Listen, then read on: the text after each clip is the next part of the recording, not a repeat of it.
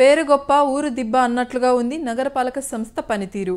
Municipality నుంచి కార్పొరేషన్గా మారిన అనంతపురం నగరంలో సమస్యలు రాజ్యమేలుతున్నాయి నగరంలో ప్రజాప్రతినిధులు ముఖ్యులు వీఐపీలు ఉన్న డివిజన్లు మాత్రం పరిశుభ్రంగా ఉంటున్నాయి.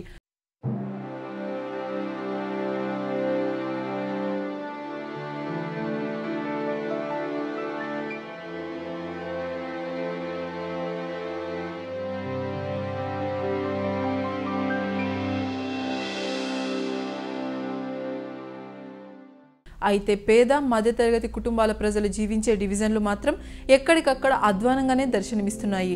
అనంతపురం కార్పొరేషన్ పరిధిలో వచ్చే కొన్ని డివిజన్లపై అధికారులు చిన్న చూపు చూస్తున్నారు. ఫలితంగా చిన్నపాటి వర్షం వచ్చినా సరే కాలనీలన్నీ అధ్వానంగా తయారు కావాల్సిన పరిస్థితి ఏర్పడింది. నగరంలోని ఆర్ట్స్ కళాశాల వెనుక భాగంలో ఉన్న వెంకటరెడ్డి కాలనీలోకి వర్షపు నీరు నివాసాల్లోకి చేరాయి. మాకు ఏ చిన్న వర్షం వచ్చినా కానీ కాలువ నీళ్ళు రోడ్డు మొత్తం ఒకటైపోతుంది సార్. రాత్రి వచ్చిన వర్షానికి మాకు సగం ఇండ్లు నానిపోయినాయి సార్. మా ఇంట్లో ఉండే బియ్యము సరుకులు బట్టలు అన్నీ నానిపోయినాయి సార్. మా కాలేజ్లో నుంచి ఆర్ట్స్ కాలేజ్లో నుంచి నీళ్ళు అన్నీ వస్తాయి సార్.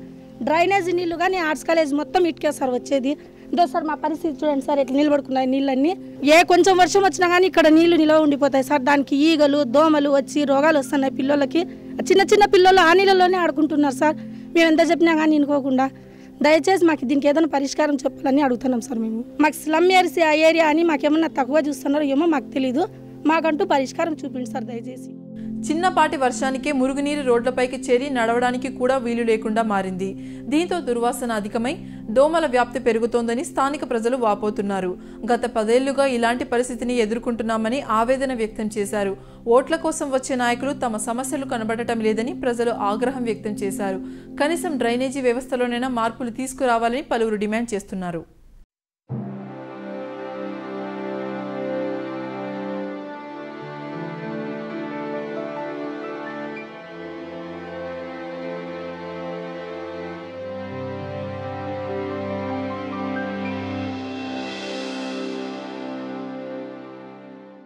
హలో మాది వెంకటరెడ్డి కాలనీ ఓవర్ బ్రిడ్జ్ కింద ఉంది. ఇది పదహైదు సంవత్సరాల నుంచి ఆర్ట్స్ కాలేజీలో ఉన్న హాస్టల్లో వాటర్ అంతా ఇక్కడ రెండు రంధ్రాలు పెట్టి డ్యామ్లో హోల్స్ మాదిరిగా పెట్టేసినారు.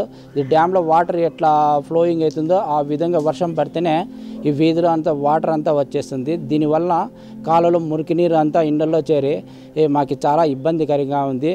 దీన్ని అధికారులు తక్షణమే సమస్య నుంచి మాకు పరిష్కారం చేయాలి శాశ్వత పరిష్కారం చేయాలి.